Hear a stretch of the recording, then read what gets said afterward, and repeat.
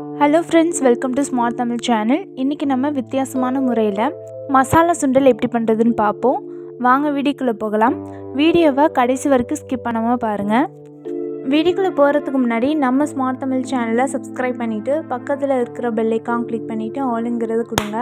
அப்போ தான் நாங்கள் போடுற வீடியோஸ் உங்களுக்கு நோட்டிஃபிகேஷன் வரும். ஒரு பவுலில் ஒன் டேபிள் ஸ்பூன் மிளகாத்தூள் சேர்த்துக்கோங்க. மல்லித்தூள் ஒன் டேபிள் ஸ்பூன் ஜீரகத்தூள் அரை tablespoon. One tablespoon chaat masala. அரை டேபிள் ஸ்பூன் கரம் மசாலா. தேவையான அளவு உப்பு. தண்ணி சேர்த்துட்டு பேஸ்ட் மாதிரி மிக்ஸ் பண்ணிக்கோங்க. அவ்வளோதான் மிக்ஸ் பண்ணியாச்சு. ஒரு பேனில் எண்ணெய் சேர்த்துக்கோங்க. எண்ணெய் நல்லா சூடானதும் அரை டீஸ்பூன் சோம்பு சேர்த்துக்கோங்க. இஞ்சி சேர்த்துக்கோங்க.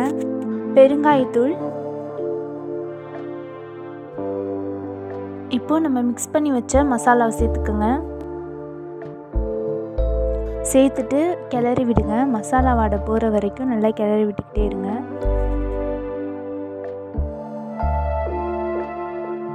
இப்போ நம்ம வேக வச்ச கருப்பு கொண்ட கடலை சேர்த்துக்கலாம். சேர்த்துட்டு நல்லா கிளறி விடுங்க. நல்லா சுண்டி வர வரைக்கும் நல்லா கிளறி விட்டுக்கிட்டே இருங்க. அவ்வளோதான் மசாலா எல்லாம் சேர்ந்துருச்சு. இப்போ நம்ம ஸ்டவ் ஆஃப் பண்ணிக்கலாம். வெங்காயம் சேர்த்துக்கோங்க. தக்காளி சேர்த்துக்கோங்க.